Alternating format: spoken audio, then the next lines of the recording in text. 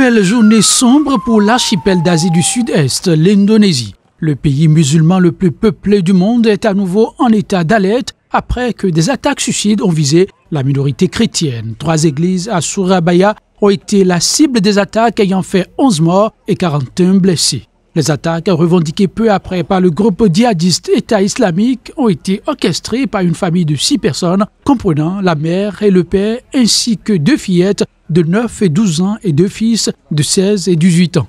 Ces attaques surviennent quelques jours après que cinq policiers et un détenu ont été tués au coup d'affrontement dans une prison de haute sécurité en banlieue de Jakarta. Le I avait revendiqué en son temps les faits, mais la police indonésienne avait écarté l'implication de ce groupe. L'intolérance religieuse a augmenté ces dernières années en Indonésie, pays de 260 millions d'habitants, dont près de 90% sont de confession musulmane, mais qui compte aussi des minorités comme les chrétiens, hindous et bouddhistes. D'autres attaques visant des églises se sont produites ces dernières années à travers le pays. Des affrontements ont opposé des militaires à la rébellion armée dans le nord birman près de la frontière avec la Chine samedi dernier. Au moins 19 personnes ont été tuées et 24 autres blessées au cours de ces combats qui ont également fait de nombreux dégâts. Ils ont eu lieu dans un village près de Mouz, entre l'armée et l'armée nationale Tang de Libération, un groupe armé ethnique de l'État Shan.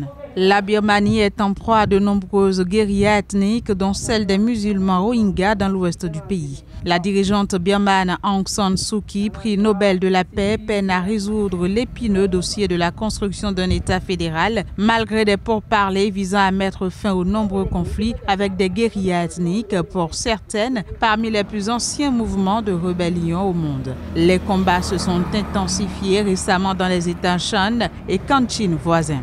Dans l'ouest du pays, des attaques en 2017 d'une nouvelle rébellion de la minorité musulmane des Rohingyas sont à l'origine de ce que les Nations Unies dénoncent comme un nettoyage ethnique par l'armée. La crise a conduit à la fuite de plus de 700 000 réfugiés Rohingyas au Bangladesh voisin. Depuis son indépendance en 1948, la Birmanie est confrontée à des soulèvements de groupes qui réclament plus d'autonomie.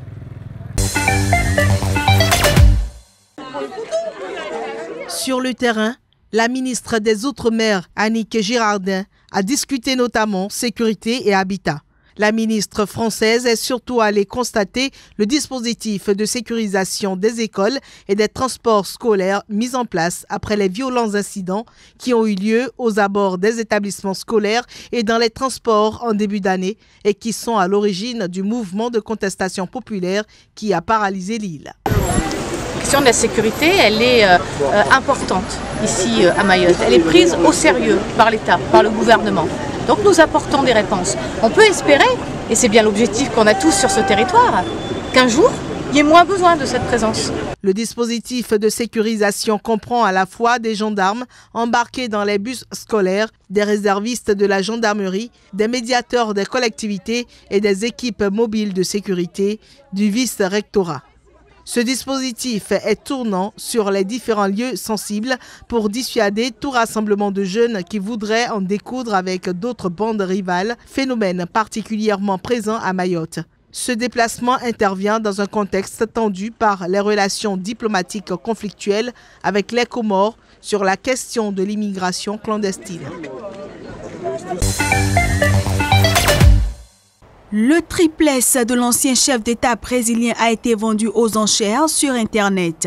Vendu pour 2,2 millions de reais, soit environ 500 000 euros, la résidence est considérée par la justice brésilienne comme un pot de vin versé à l'ex-président Lula, condamné à plus de 12 ans de prison pour corruption. Une seule offre a été formulée, moins de 5 minutes avant l'heure fixée par le site chargé des enchères, Bien que la page web ait été visualisée plus de 50 000 fois, l'identité de l'acheteur reste anonyme pour l'heure. En attendant que toutes les formalités administratives soient réglées, le triplex reste au nom d'OAS, l'entreprise de bâtiment accusée de l'avoir offert à Lula en échange de faveurs dans l'attribution de contrats publics avec la compagnie d'État Petrobras.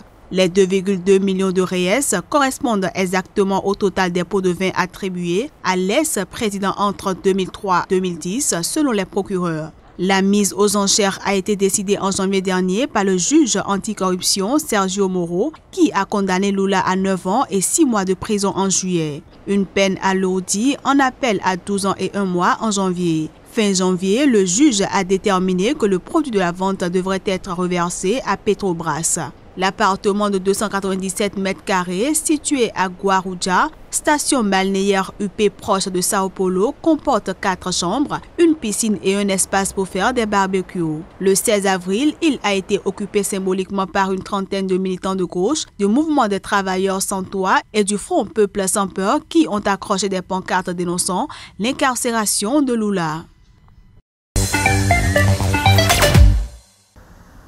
Un bébé de 6 mois a été blessé à l'épaule après avoir reçu une balle perdue. L'enfant se trouvait dans les bras de sa mère qui était allée chercher son grand frère âgé de 6 ans. Selon un journal local, la vie du bébé n'est pas menacée, mais la balle est restée logée dans son épaule. Il devra donc subir une intervention chirurgicale. Cette affaire n'est pas un cas isolé au, Brésil.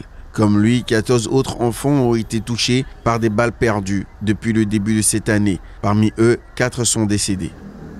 C'est préoccupant parce que vous êtes dans une école et vous pensez être en sécurité et puis il y a des choses qui se produisent autour de l'école. Aujourd'hui, vous pouvez vous trouver dans le quartier le plus cher de Rio et être témoin d'une fusillade, de balles perdues. C'est difficile de voir la lumière au bout de ce tunnel.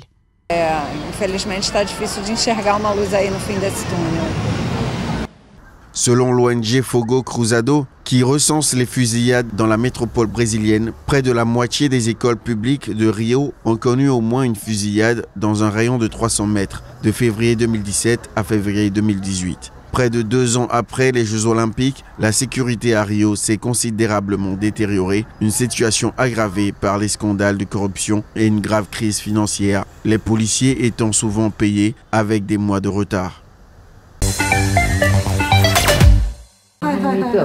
86 journalistes japonaises ont annoncé mardi la création d'une association de lutte contre le harcèlement sexuel et les attitudes sexistes attouchement à l'arrière d'un taxi, propos déplacés à caractère sexuel, questions sur leur vie privée de la part des hommes politiques, elles dévoilent les coulisses de leur travail et l'absence de compréhension de leur hiérarchie lorsqu'elles tentent d'en parler. Cette initiative a été prise à la suite d'un cas ultra médiatisé de harcèlement sexuel d'une journaliste d'une chaîne de télévision par un haut fonctionnaire du ministère des Finances. Les femmes journalistes victimes d'agressions ou de harcèlement sexuel ne peuvent pas prendre la parole. On nous a fait comprendre qu'un journaliste accompli, c'est celui qui sait aussi se taire. On s'est donc toutes interdites de parler.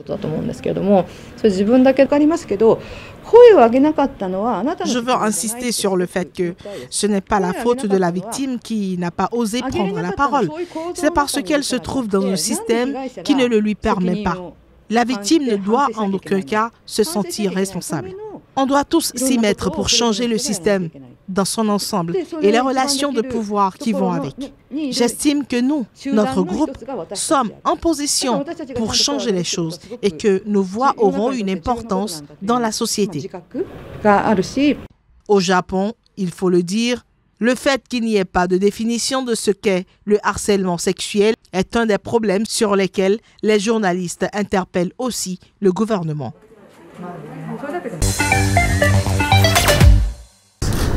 Lever des fonds pour l'aide humanitaire en Corée du Nord devenu plus difficile alors que Pyongyang a injecté des ressources dans ses programmes nucléaires et de missiles. Pendant ce temps, la population manque de nourriture. Le programme alimentaire mondial est l'une des rares organisations humanitaires opérant dans le pays isolé qui a souffert d'une famine ayant causé la mort de centaines de milliers de personnes au milieu des années 1990. Le programme alimentaire mondial reconnaît que Pyongyang accordait un accès plus large que jamais auparavant, mais il en demande davantage. Nous n'avons pas assez d'argent pour nourrir toutes les personnes en besoin. En ce moment même, il nous manque 2 à 3 milliards de dollars. Si nous voulons que les pays donateurs aident davantage, il est donc extrêmement important d'avoir les données nécessaires parce qu'ils doivent prendre des décisions. Nous avons toujours besoin de plus d'accès, plus de données, et nous attendons ça avec impatience. Nous leur demandons seulement de comprendre que s'ils ne nous donnent pas les informations et l'accès nécessaire, il sera difficile de recevoir les fonds et la nourriture nécessaires pour faire des progrès en matière de sécurité alimentaire. L'ONU a demandé 114 millions de dollars d'aide aux donateurs l'année dernière pour la Corée du Nord, mais n'a reçu que 31 millions de dollars. Elle n'a donc pu aider que 15% des bénéficiaires de l'aide alimentaire.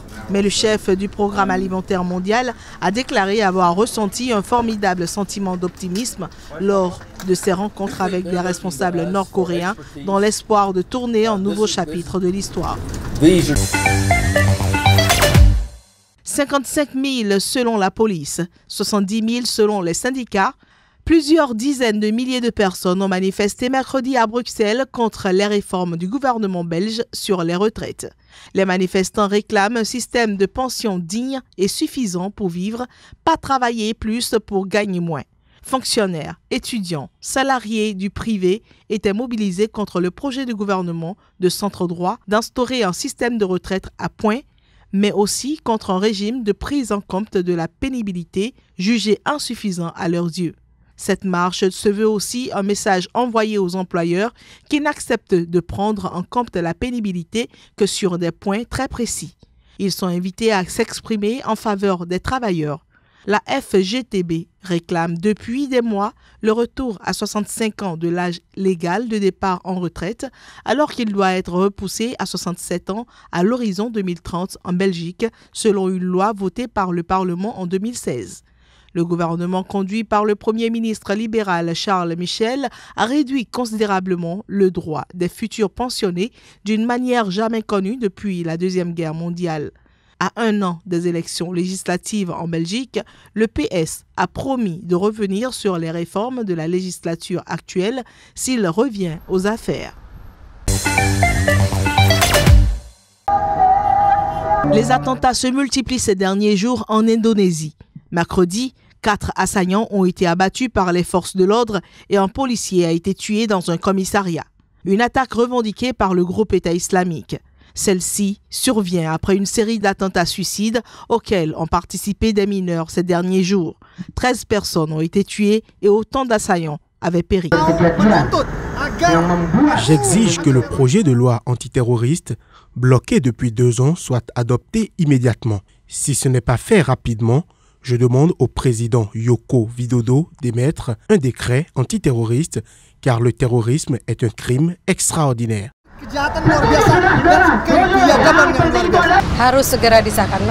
Le projet de loi antiterroriste devrait être adopté immédiatement en raison des conditions actuelles.